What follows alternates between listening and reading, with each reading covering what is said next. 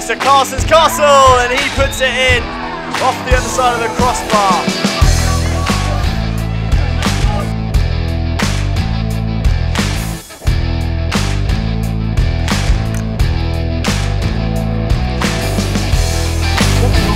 into the turf and Carson oh with the overhead volley puts it into the back of the net and OG's a 3-1 up with 8 minutes to go what a finish from Tom Carson Watson on the spin squeezes into the turf and agonising for the Brooklyn defenders but Carson takes full advantage with the overhead finish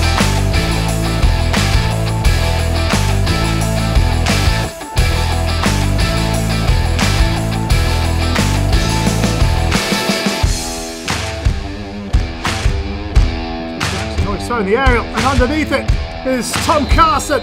And Tom Carson levels things up. Nine minutes in, his 11th goal of the season. Reading one, Old Georgians one.